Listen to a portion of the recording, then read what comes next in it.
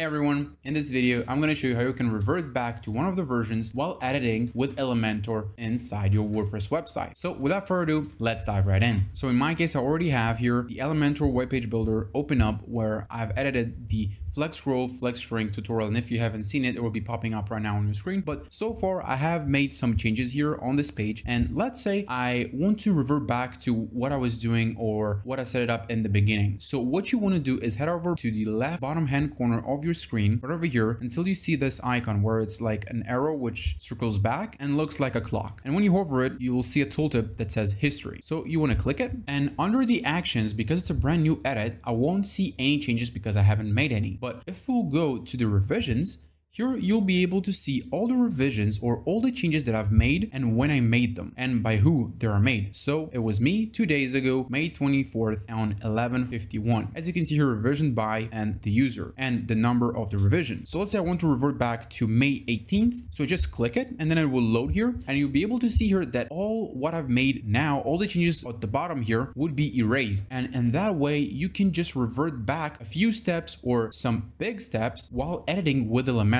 Meaning if there's something that you've made by a mistake and you want to revert back like a few days ago or you've implemented a new plugin or you've inserted a new widget and some things didn't go quite the way you wanted it, this revision option would allow you to revert back to when things was good and then start from there. You can call it like going back in time as we know the old movie, but here Elementor gives you the possibility to revert back in time in your edit. And the same thing would go if I will scroll a little bit to the top here and I want to go, for example, two days ago on May 24th on 1201 and I want to see what happened there.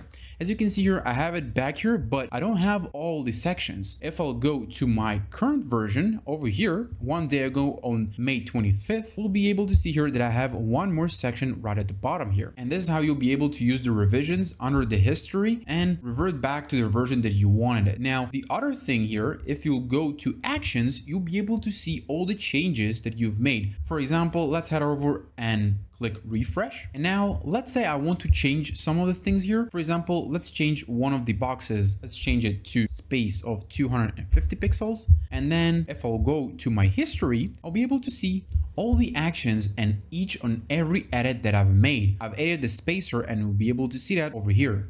Let's say I want to add a heading. So I'll head over to my widgets and then I'll add a heading just on top of it. And then we'll be able to see again inside the history that I've added a heading. And the same way you can do here, as in the revisions, the same thing would apply in the actions. For example, I want to revert back and I just want to go back to the time where I haven't made any changes. So you want to head over to the editing started and we'll be able to see that everything was reverted back. Yes, of course, you can head over and revert it back over here and then just delete it manually over here by right clicking it and then just deleting element that you've added. But this is one more step that you can apply either the actions or the revisions. And this is what I wanted to show you in this video. I really hope this video helped you and if it did, I'd be really glad to if you leave a thumbs up. Make sure you subscribe to my channel so you won't miss any tutorial that I post on Elementor, WooCommerce, and WordPress. And as always, I'll be seeing you in the next one.